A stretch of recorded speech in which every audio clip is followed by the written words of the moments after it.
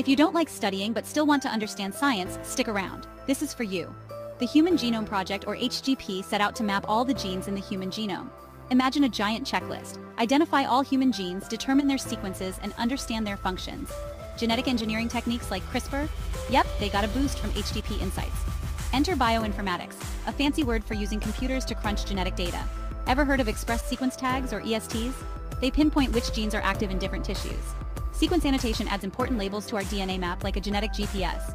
BACs and YACs? They're just fancy tools to clone big DNA chunks for study. Our genome packs around 20,000, 25,000 genes, plus lots of non-coding regions. Single nucleotide polymorphisms, or SNPs, are tiny changes in DNA that make a big difference in traits and diseases. HGP's impact? Personalized medicine, better disease research, and even ancestry tests. But challenges remain, like ethical questions and decoding complex genetic interactions.